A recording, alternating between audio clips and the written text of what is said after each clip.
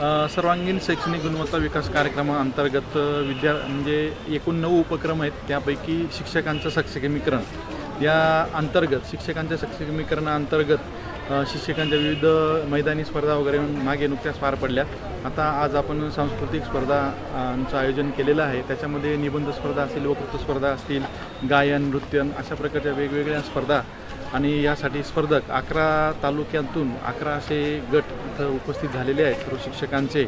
आणि याच्यामधून स्पर्धकांना ट्रॉफी विजेता उपविजेत्यांना ट्रॉफी आणि सर्वांना सहभागाचं प्रमाणपत्र देखील आज दिलं जाणार आहे. अशा पद्धतीने आज सक्षमीकरणाचा सांस्कृतिक कार्यक्रम आज पार पडला.